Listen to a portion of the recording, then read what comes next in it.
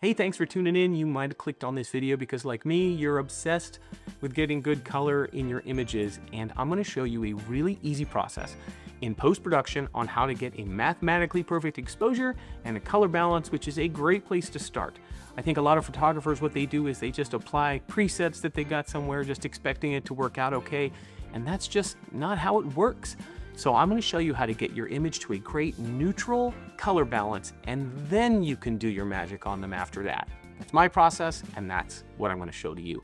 Before we get started, don't forget that I have a weekly email newsletter. I send this out to thousands of photographers every week, just letting you know the gear I'm using, anything cool that's gonna be going on, and also upcoming speaking engagements where you can hang out and learn from me live. Like coming up in May, I will be speaking in Detroit, and you can get all the information on that in the description here, as well as a link to sign up for my email newsletter. So let's get into it.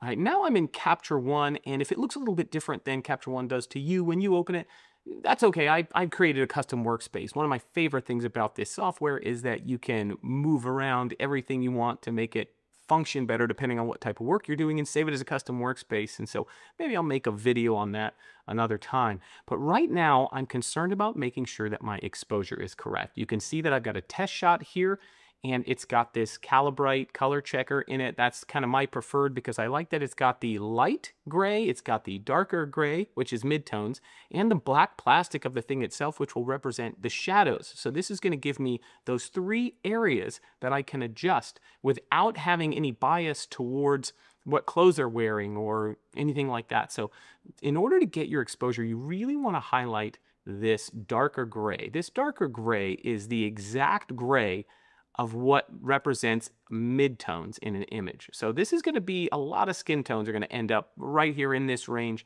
And also, if this gray is exposed properly, you know mathematically that your exposure is correct in a portrait like this. So what I'm going to do is drag out the histogram. And this is going to be a histogram with a red, green, blue, and RGB overlay. Now, because we know that this gray represents midtones, you can see on the histogram that this curve is too far to the left, which means the image is underexposed.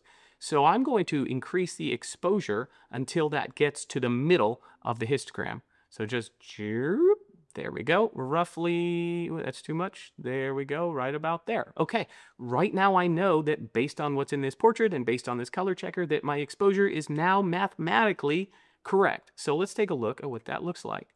I'm going to undo this crop. And by the way, I'm cropping because you'll see that as I expand or contract the crop, that it's only going to give you the histogram for what's inside the crop boundaries. And that's what makes this technique really, really useful. So let's go ahead and look at this image nice and big before and after. So here's before I adjusted the exposure, and here's after. And now that we've adjusted the exposure, it's time to tweak the color balance. So I'm going to take this crop tool again, and I'm going to go in tight on all three areas of this color checker, including the light tone, which is going to represent highlights, the black plastic, which is going to represent our shadows, and the medium gray, which is going to represent our midtones. And you'll see all of those represented now in the histogram, one, two, three, right across the board. Shadows on the left, midtones in the middle, and highlights on the right. So it looks like our white balance is pretty close, but what I want to do is to really concentrate on these highlights. And so let's go up here and make these highlights kind of our main focus. I'm going to drag this histogram a little wider so we can really start to get fine tuning the distance between these things and I'm going to pull up the color balance tool. This is going to give you like a color wheel where you can adjust the shadows, the midtones, and the highlights independently of each other. Not completely independently, think of it more like a rubber band, but uh, they will be mostly independent of each other. So now if I go to the highlights over here, you can see that the blue is far to the left. That means there's less blue and a lot more red and green.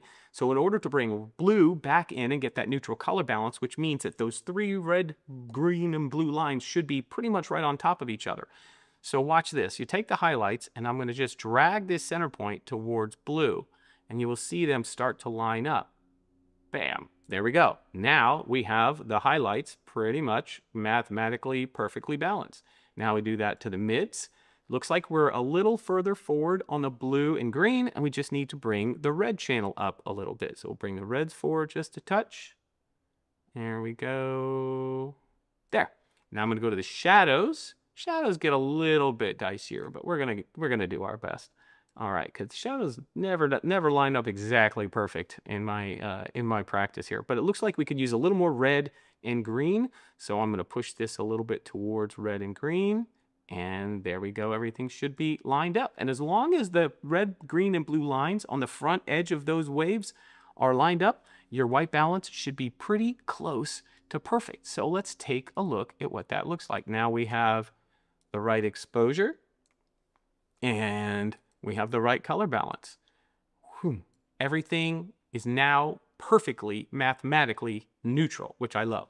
So if you've got other images, all you have to do is copy that setting and then apply it to the other images. And now all your images in that same set are going to be perfectly exposed and perfectly balanced. And it's at this point when you're at neutral, which is when you can start to do your color grade, when you can start to add your own style to it.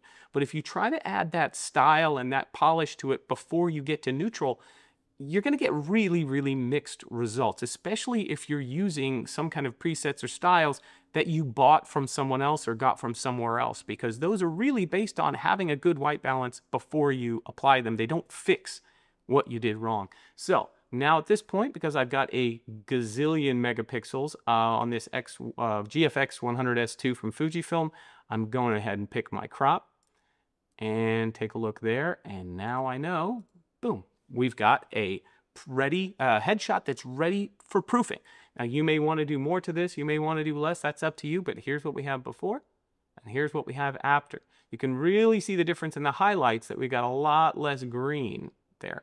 Man, I'm really, really happy with that, and I'd be happy to show that to a client. Now, if you want to take this to the next level, if you shoot tethered like me, you can make these adjustments and save them as a custom style and have that style applied on import, which means every time you take a picture, it's going to take that style and it's going to make that correction. So all your images are done as you shoot. And I've got a great video to show you exactly how to do that. And I will put a link to that in the comments. So hopefully this super nerdy method of getting a neutral white balance and exposure will really help you out in your post-processing workflow. Let me know in the comments if you've tried this, if it works for you, or uh, if you think I'm an absolute lunatic for even caring.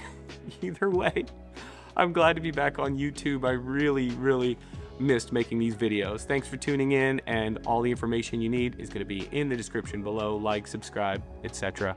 And I'll see you later.